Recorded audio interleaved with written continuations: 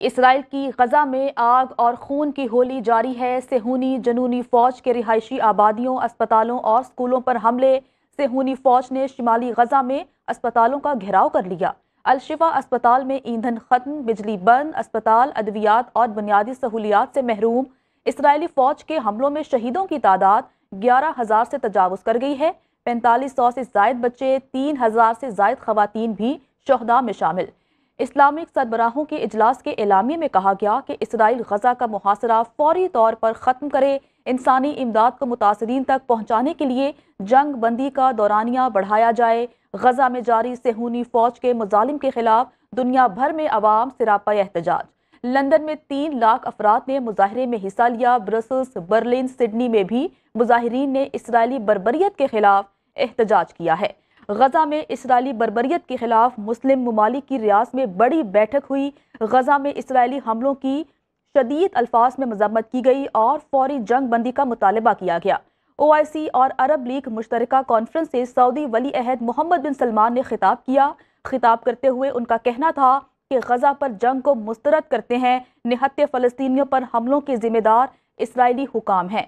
इसी तमाम तर मामले पर बात करने के लिए हमारे साथ मौजूद हैं सीनियर तजियाकार ब्रिगेडियर रिटायर्ड वकार खान साहब। वकार खान साहब बहुत शुक्रिया वक्त देने के लिए।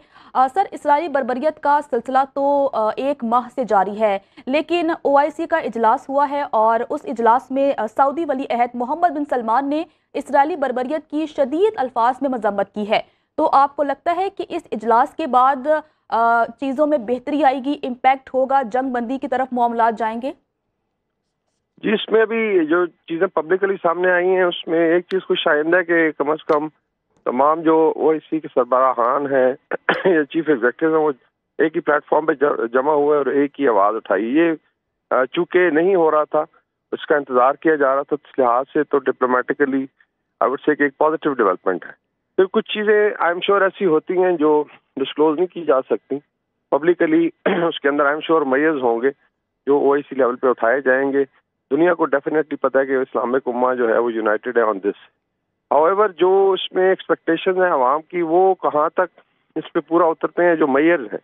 बस बात वही हो रही है कि प्रैक्टिकल मैयर्स हैं जैसे इकनॉमिक हैं कमर्शल हैं, या एनर्जी से रिलेटेड हैं. अगर उस पर कोई डेवलपमेंट होती है तो डेफिनेटली उसका एक प्रेशर बनेगा. लेकिन जब भी आई थिंक ओ के तावन मुल्कों के सरबहान एक जगह इकट्ठे होते हैं, यक आवाज़ होके एक स्टांस लेते हैं तो उसका डेफिनेटली पूरी दुनिया पे और ओवरऑल रीजन पे उसका असर पड़ेगा। अभी ये देखना है कि आगे चीज़ें किस तरीके से चलती हैं।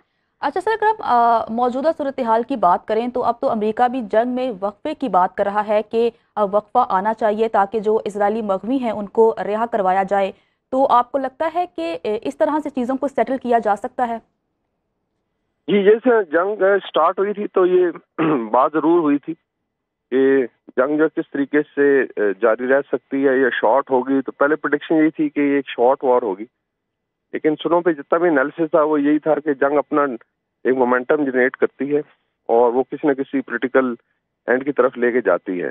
तो ये भी एक आई थिंक जो अट्रॉसिटीज की हैं इसराइल ने, जितनी शहादतें हुई हैं आई थिंक अभी ग्यारह हज़ार से भी तादाद ज़्यादा होगी, और स्टिल जो बाहर लोग निकल रहे थे, उनके ऊपर भी आई थिंक टैंक फायर भी किया उन्होंने। इसके अलावा बम्बार्टमेंट भी किए तो ओवरऑल इस तरह लंदन में भी देखेंगे मेरा ख्याल जो प्रोटेस्ट है कल का वो कह रहे हैं आठ लाख तक चला गया लॉट ऑफ़ पब्लिक प्रेशर इनकी गवर्नमेंट्स भी अंडर प्रेशर है। इस्लामिक मुस्लिम डायस्पोरा है वेस्टर्न वर्ल्ड में और इवन आई थिंक जो भी आ, लोग हैं जिनके दिल दिल में कुछ दर्द है इंसानियत का तो वो ओवरऑल आई थिंक इंसानी ज़मीर ज़रूर जागा है। और इंसानी ज़मीर ये नहीं होता कि सिर्फ़ लीडरों का ज़मीर होता है it's basically sentiment on the street उसका प्रेशर ज़रूर है कि उसमें अमेरिका भी मजबूर हुआ है। आ, दूसरा जो है अभी जो फ़ील्ड में लेट से जो मिलिट्री सिचुएशन है वो भी इतनी आग से वेस्ट के या इसराइल के काबिल कबूल नहीं है कि वो जो सक्सेस चाहते थे उस तरह मिली नहीं है। तो ऑल टोल दुआ करनी चाहिए कि ये वक्फा जो है इसमें रिलीफ मिल जाए और उसके बाद एक परमानेंट जंग बंदी की तरफ़ और एक फैसला कौन जो सोल्यूशन है इसका इसराइल पैलेस्टीनियन कॉन्फ्लिक्ट का जिसमें फलस्तीनियों को अपना रहने के लिए एक वतन मिले हम्म। वो I think that is more important ठीक है ब्रिगेडियर रिटायर्ड वकार खान साहब हमारे साथ मौजूद थे सर आपका बहुत शुक्रिया। बाखबर रहिए हर जगह हर वक्त बर वक्त।